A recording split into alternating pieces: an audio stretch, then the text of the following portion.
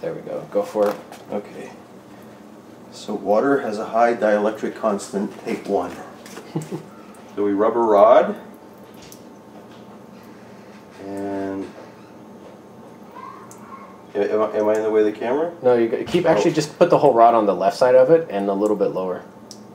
Lower so you can you can see the rod and the deflection. There you go.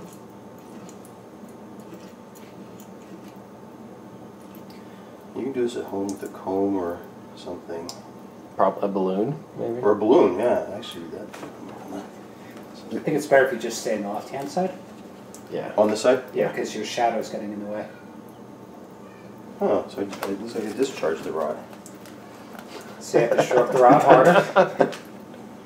You have to wait. Oh, there, you go. Yeah.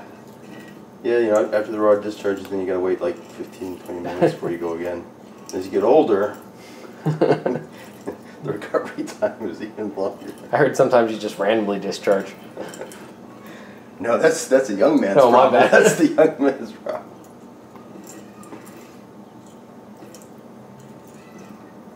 You can see Doug's gay marriage bracelet on his right hand.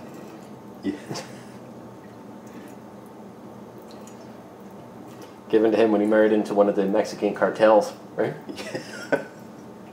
I still have my behind me though.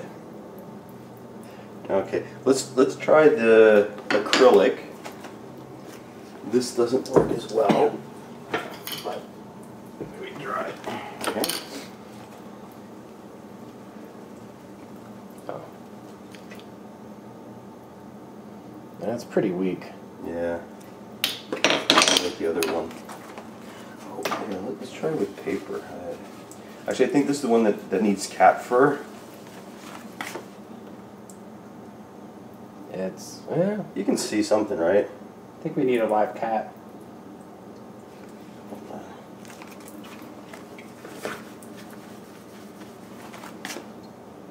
Nah, Not really. Nothing's really. And now Doug is going to charge his other rod. It's going. So, You can still see the effect. I mean, but it's a bigger rod, right? But uh, yeah, some rods, some rods, just because they're bigger doesn't mean it's better. you're saying it's not the size in this particular case. exactly. You can still see some effect, right? Or no? Yeah, you can. It's not much, but yeah.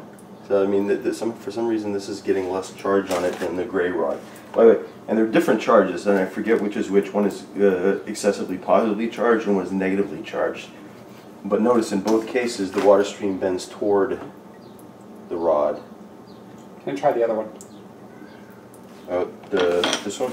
No, the uh, Go back to the gray one.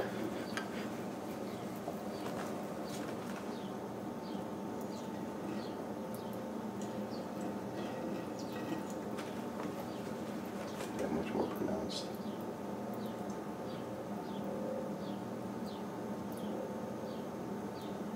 And this actually works better with the ionized water.